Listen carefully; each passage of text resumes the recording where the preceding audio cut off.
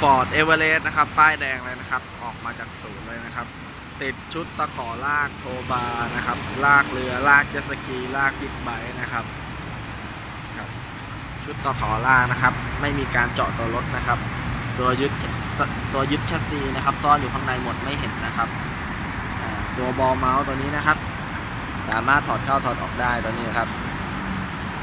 จะได้ไม่ยื่นออกนอกตัวรถเวลาไม่ใช้งานนะครับ หัวบอลนะครับ เป็นหัวบอล 50 มิลนะครับเอาไว้ลากเรือลากเจ็ตสกีได้หมดนะครับชุดปลั๊กไฟนะครับ เป็นชุดปลั๊กไฟ7 pin นะครับ ติดตามสัญญาณไฟรถเลี้ยวซ้ายเลี้ยวขวาไฟเบรกไฟผ่านมาติดหมดนะครับโอเคนะครับเรียบร้อยนะครับสำหรับตัว Ford e v e r e s t นะครับป้ายแดงครับออกจากศูนย์ติดชุดตะขอลากเอาไว้สำหรับลากเรือลากเจ็ตสกีลากบิ๊กไบค์นะครับไม่มีการเจาะตัวรถนะครับ ไม่มีเจาะไม่มีเจาะเพื่อไปใช้งานนะครับรถไม่เป็นรอยนะครับขอบคุณนะครับสำหรับการรับชมขอบคุณครับ